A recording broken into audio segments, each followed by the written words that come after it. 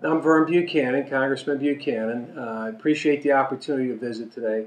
My background I'm one of six kids, a blue collar family in Detroit, Michigan.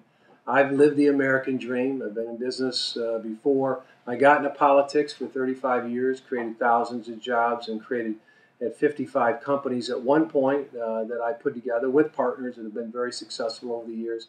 But I've lived the American dream. But today I think the American dream's at risk. When I came to Congress in 2007, we had 8 trillion in debt. Now it's 16 trillion dollars in debt. I'm pushing for a constitutional balanced budget amendment because I don't know at some point in time, two or five or eight years, if we don't change the way we do business in Washington, we'll be the next Greece.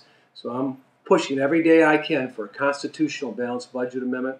That's one of my major focus. The other thing is, as the past chairman of the Sarasota Chamber in this region for two years, my focus is on helping small businesses be more successful with less frivolous lawsuits, less taxes, a flatter, simpler, fairer tax. I'm on the tax committee, less regulation, and help create an environment in Washington that helps them be more successful in terms of their business. Because if they're more successful, we'll create the good paying jobs that we need.